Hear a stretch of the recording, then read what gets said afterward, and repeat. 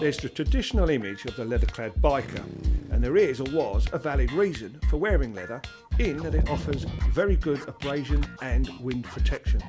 It is literally a second skin. However, textile technology has advanced in recent years to the point where man-made fibres can outperform animal skin. Safety experts say that many lives have been saved over the last 10 years that can be directly attributed to these technical advances. Man-made textiles are better than leather at keeping the rain out and the heat in, as well as offering abrasion resistance. As for thermal efficiency, it may surprise you to know that you can lose up to 600 calories an hour riding a bike in the winter. Great if you're on a diet, but not so good for your levels of concentration. So, what should you look for when buying protective gear? Well, ideally, the jacket and trousers should be multi-layered. This allows you to adjust your heat retention by adding or removing the layers to suit the conditions. Also, expect some elbow, shoulder and knee armour.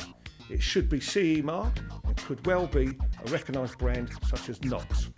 Some jackets have the new D3O armour, which is flexible in its natural state but stiffens on impact. Finally, a little tip.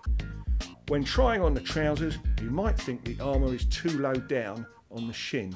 It's designed like that so as to end up in the right place in the event of an accident.